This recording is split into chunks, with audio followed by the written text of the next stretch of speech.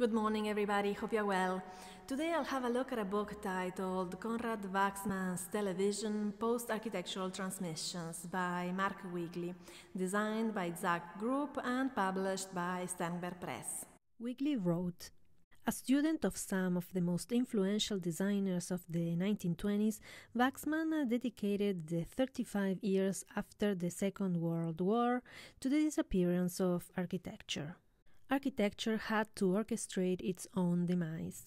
Solid, immobile buildings needed to give way to something as delicate, mobile, and ephemeral as the smoke from the designer's ever present cigarette. Intangible clouds of interactive television signals would take architecture's place and unleash a new kind of society. Television was the promise of the post architectural future. Wachsmann fans might feel jolted to hear that their hero of factory made buildings was inspired by television.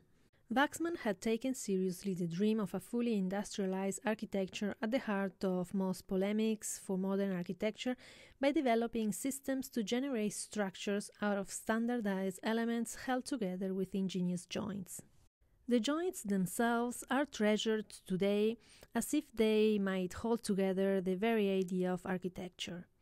But for Wachsmann, they were actually a way of letting go of architecture, of embracing refreshingly unpredictable flows of energy. Television has always been anti architectural.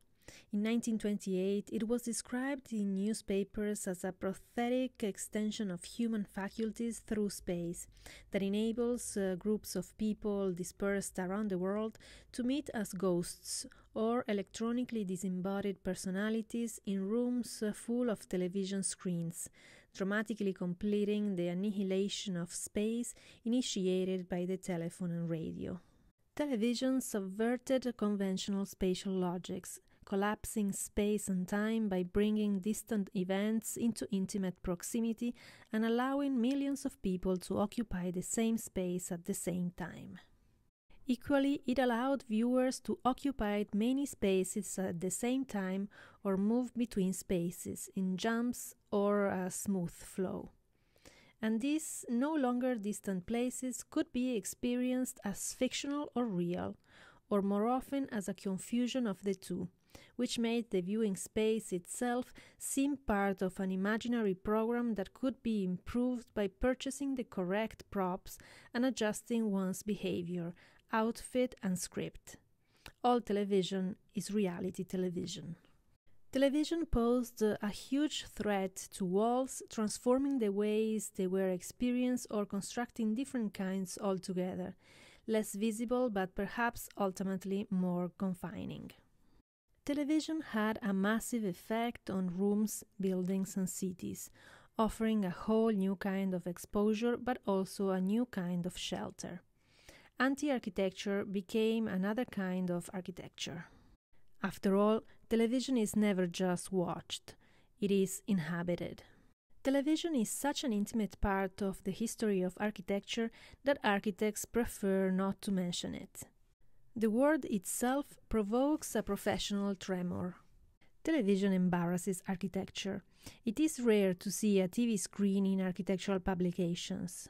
Architects pretend that television didn't happen, as if their imagined clients don't watch it, or as if it is incompatible with architecture. They act as if their responsibility is to make space in which the occupants might choose to place screens. But the screen is never a choice. The screen is responsible for the definition of space, not the building. Architecture is placed uh, within uh, television more often than television within architecture. The discipline's uh, blind spot concerning television is ultimately a blind spot concerning building. Yet, the anti architectural crime of television that haunts architectural discourse could never be fully repressed another history can be written. In fact, a whole succession of architects over the last century did try to engage with uh, television. Think, for example, of Ivan Leonidov's uh, radicalization of the constructivist devotion to radio by using the word uh, television to describe a screen that receives images by radio for a club of the new social type in 1928, only one year after the first all electrical set was demonstrated in San Francisco. All such clubs around the world were to be organized and synchronized by vast amounts of real time information. Television would construct an electromagnetic architecture as a form of solidarity worthy of the socialist revolution. The same year, Buckminster Fuller placed a radio television receiver at the center of the Dymaxion House project in Chicago as a crucial wireless device linking all spaces by indirect central broadcasting systems. Fuller's whole philosophy of architecture was organized around the idea of two way television, and it imagined a new kind of democratic politics without politicians or borders, since all citizens on the planetary spaceship would live inside nomadic houses that are actually spherical TV sets, continuously interacting with all information about the present, past, and possible futures. Think also of the echoes of such TV utopias in the work of post war architects the crucial television antenna to sustain a self organizing University of the Streets in Cedric Price's first drawings of the Fun Palace project in 1963. The banks of CCTV cameras and projection screens inside and outside the Price Information Hive in 1965 for the mass viewing of educational television received over the airwaves or generated by computers and TV studios within the building and beamed out. Hans Hollein's 1966 photomontage, in which the University of Vienna is dramatically extended by plugging a TV into its monumental 19th century building. Hollein's decision to present the inflatable mobile office of 1968 as a short film on Austrian television, and Ugo La Pietra's Casa Telematica project of 1972, which rethought urban life and domesticity by allowing the new circuits of television to take over socio-spatial systems. A counter history can be built up of architects who embraced the anti architectural force of television and took pleasure in the imagined subversive political effects. It is not about the addition of television to architecture. It is about the undoing of architecture by television, including the undoing of the space in which television appears. Wachsmann has a persistently enigmatic status in architectural discourse, oscillating between periods of fascination and amnesia. Such oscillations are symptoms of wider unresolved questions. Indeterminate figures often reveal more about the field than those whose place seems secure. Wachsmann's elusiveness is actually part of what makes the figure urgently relevant as it is linked to the thought of a post architecture of television. The Wachsmann philosophy relentlessly opposed the conventional figure of the individual architect insisting that design, research, and education can only be done by teams operating between and beyond conventional disciplines. These new networked models of learning dissolved conventional institutions like universities and professions. Wachsmann worked on alternative institutional structures that abandon the figure of the independent creative designer and even the idea that collective designers would or should know what they are designing uncertainty became a precious asset driving thinking toward new possibilities. Design itself was ultimately to be continuously carried out by a massively interconnected society, and television would be the medium of the new mode of collective thinking and living.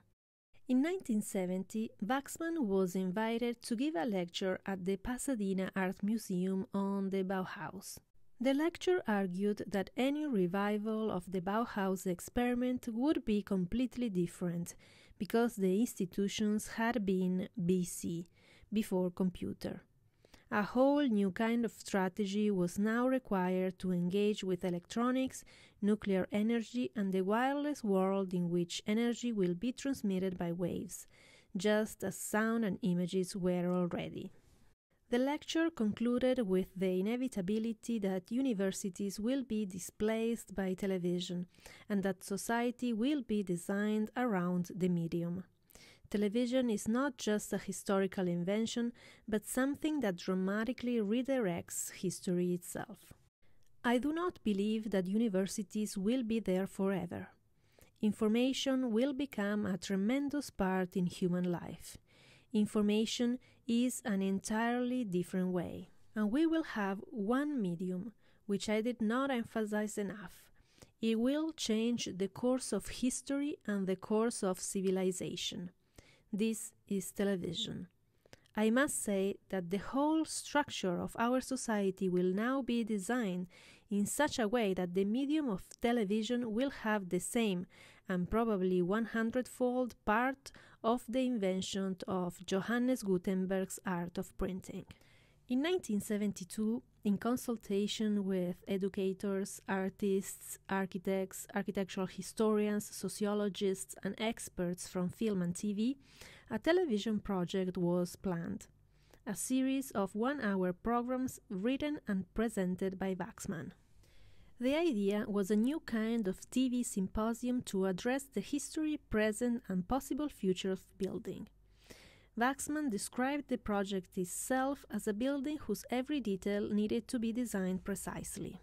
Wachsmann TV is a public psychoanalysis on the living room couch that aimed to shed light on the human made environment that sooner or later had to be replaced a therapy through constant information that is as necessary for the so called expert as it is for the so called public. Industrialization unleashed enormous resources of information that had not yet been understood but were the necessary basis for sociopolitical change. Generating, circulating, and collectively analyzing information via television becomes the key to finally realizing the new society called forth by electronics. A new epoch of information technique will arise. Even if it appears to be idle to speculate about possibilities which do not yet exist, it should be underlined that such scientific technical improvements may be most vital in the expansion of the television culture at the end of the 20th century. Television will have a greater influence on culture, civilization, and knowledge than the invention of the printing press. The ultimate library will be one small surface, no bigger than an ordinary piece of cardboard, on which everything that has ever been produced in time can be projected by a simple selector system of a supreme computer. The Wachsmann imaginary was never simply about equipment. It was about the future of social protocols, circuits of exchange, collective inventiveness, awareness, and hospitality. Technologies are, anyway, never simply technical they inevitably remake the bodies, brains, and interdependencies of the species that use them. Thank you for spending time with me today. I hope you enjoyed this video, and I'll see you in the next one.